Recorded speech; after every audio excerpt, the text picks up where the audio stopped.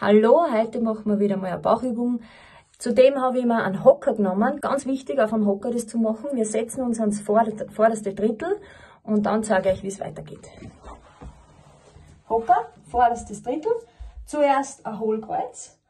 Dann die Gegenbewegung an Rundrücken und das ist eben jetzt ganz wichtig. Vorderstes Drittel und wir bleiben in dieser stabilen Beckenposition ganz rund, Bauchnabel richtig einziehen und gehen in der Position aktiv, gespannt, runter und rauf.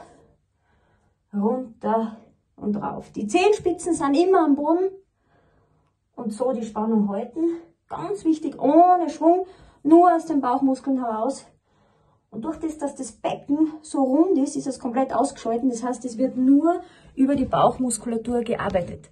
Ganz, ganz wichtig, ähm, ich mache 10 Wiederholungen, dann 2-3 Minuten Serienpause und dann wieder 10. So schaffe ich ganz leicht 50 Wiederholungen am Tag. Und ich wünsche euch viel Spaß. Morgen kommt die nächste Übung.